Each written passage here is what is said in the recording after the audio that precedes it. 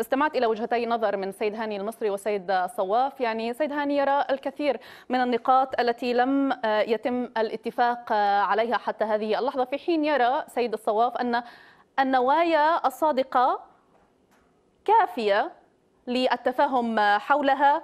هل باعتقادك بالفعل النوايا كافية للتفاهم والمضي قدما في إجراء الانتخابات؟ أم لازال هناك الكثير من النقاط العالقة التي قد تفجر أي خلاف في المرحلة المقبلة؟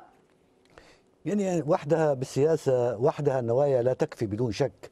هناك هناك مجموعة من أو هناك مجزرة جرت في القانون في القضاء الفلسطيني كله، المؤسسة القضائية بكل محاكمها الآن جرى عمليا تفريغها من مضمونها وأصبحت الآن تدار من قبل الرئيس محمود عباس وحده. وحتى يعني تجاوزات لها علاقة بالنظام الأساسي هذه كل هذه القضايا صمتت عليها حركة حماس والفصائل الفلسطينية في القاهرة، بمعنى هذه قضايا جوهرية تشير بوضوح أن العملية الانتخابية بجملتها أو برمتها عمليا يعني تنقصها أو بلحظة هناك ثغرات قد تؤثر على النزاهة وكذلك حرية التصويت. في قضايا تم تجاوزها ولم يأتي الحديث حولها حول على سبيل المثال الترشيح لموظفي القطاع العام أو المؤسسات العامة والأهلية حتى اللحظة مربوطة بموافقة مسؤول هذا مسؤول هذا المرشح أو أو هيئته. إذا غابت أو إذا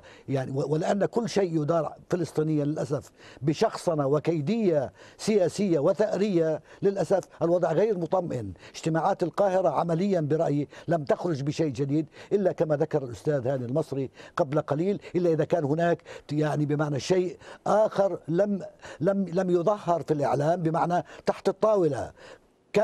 مثلا إنه نتفق على حكومة وحدة وطنية بديلة عن الانتخابات أو أن نذهب ب أو أن نذهب بقائمة مشتركة وأنا أرى ذلك أيضا جزء من المناورة السياسية لأن قائمة مشتركة بين فتح وحماس دونها الكثير الكثير بالمناسبة وإشكاليات وبالتالي إما أن نكون فعلا نجهز أو نمهد الطريق لا تأجيل طيب. الانتخابات لمرحلة قادمة وبالتالي نبحث بين الفصيلين عن تشكيل حكومة وحدة وطنية وبالتالي تؤجل الانتخابات إلى فترة لاحقة